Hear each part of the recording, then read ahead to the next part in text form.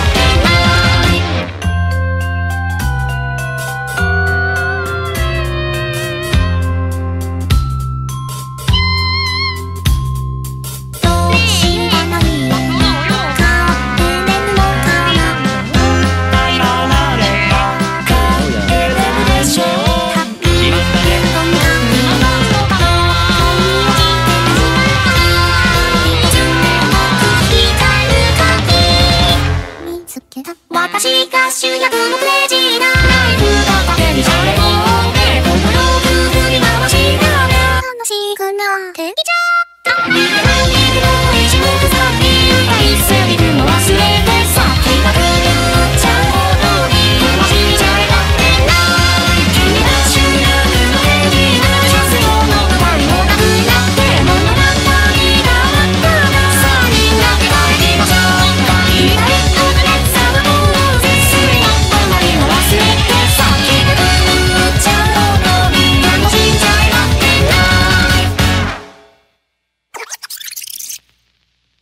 静かになった部屋の中拍手を送る謎の影迷い舞台でした。